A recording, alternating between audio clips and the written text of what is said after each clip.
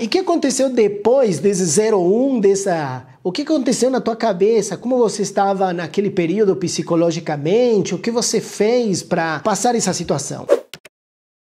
E aí eu saí do consultório da médica, entrei no carro e comecei a chorar, né? Bateu aquele desespero, porque até então eu não queria engravidar. Só que quando eu não queria, porque era algo que estava no meu controle. Ah, eu engravido na minha cabeça, eu engravido quando eu quiser. E a partir do momento que eu vi que eu não podia engravidar e eu já estava numa fase da minha vida e do meu relacionamento que ali eu já queria um filho, então aquilo me deixou meio que em pânico, né? E aí eu liguei para minha mãe e as nossas mães são sempre muito sábias, né?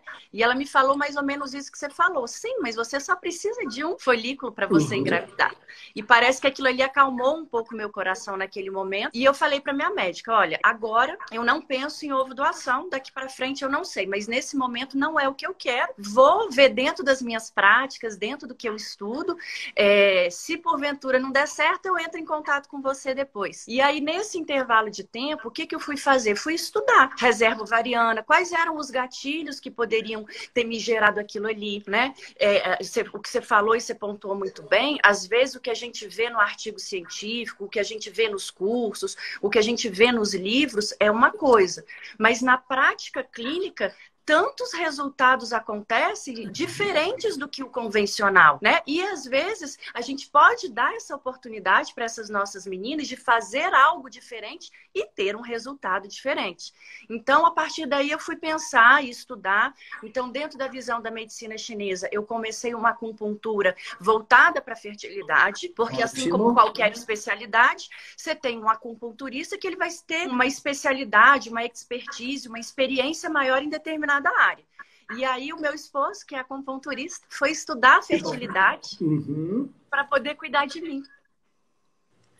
E aí eu fui estudar fitoterapia chinesa, eu fui estudar dentro da visão da medicina, é, da biofísica quântica, o quanto, o que, que eu poderia estar intoxicada, porque eu já não comia glúten, eu já não uhum. comia leite derivados, eu já não tinha um consumo de bebida alcoólica quase que nenhum, né? Que eram coisas que a gente sabe que podem atrapalhar a fertilidade. Então, no primeiro momento, eu fiquei um pouco apreensiva no sentido assim, geralmente as pacientes me procuram, estão todas desequilibradas mas eu já estava mais equilibrada. Então, às vezes, claro. dá aquela sensação de perda, no sentido, putz, eu já faço tanta coisa, para onde que eu vou? O que que eu vou fazer? Então, eu fui puxar um pouco do meu histórico, né? Eu comecei a usar anticoncepcional muito cedo, então eu usei uma média de 16 anos de anticoncepcional. Eu usei anabolizante também no período da minha vida. Então, são situações que a gente vê que podem piorar a nossa reserva ovariana e a qualidade dos folículos.